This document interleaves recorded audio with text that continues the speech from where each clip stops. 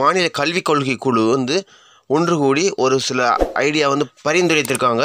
அது என்னென்னா தற்போது இந்த டெட் தேர்வு முறை இருக்குல்ல அது வந்து இன்னும் கடுமையாக்கப்படணும் என்று சொல்லியிருக்காங்க. நீங்கள் உடனே ஸ்கிப் பண்ணிடாதீங்க.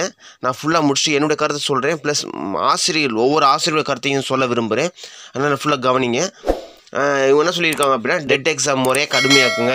ஏன்னா புக்ஸை மட்டும் படித்து ஒரு டீச்சர் நல்லா டீச் பண்ண முடியாது. அப்படின்னு சொல்லி ஒரு சொல்லியிருக்காங்க ஸோ நான் அதை அக்ரி பண்ணிக்கிறேன்.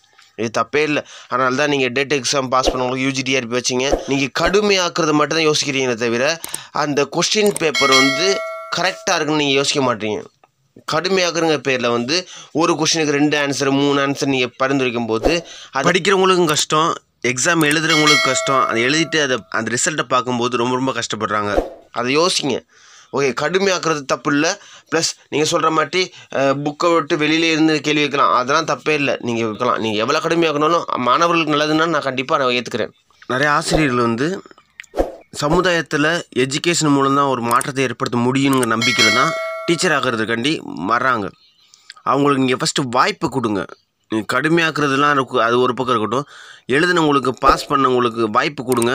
அவங்க மாற்றத்தை கொண்டு வருவாங்க. ஸோ இது என்னுடைய கருத்து. உங்களுடைய கருத்து இந்த கமெண்டில் கமெண்ட் பண்ணுங்கள் நீங்கள் வேறு எதுவும் ஐடியா வச்சுருந்தீங்கன்னா அதையும் நீங்கள் கமெண்டில் கமெண்ட் பண்ணுங்கள் நன்றி.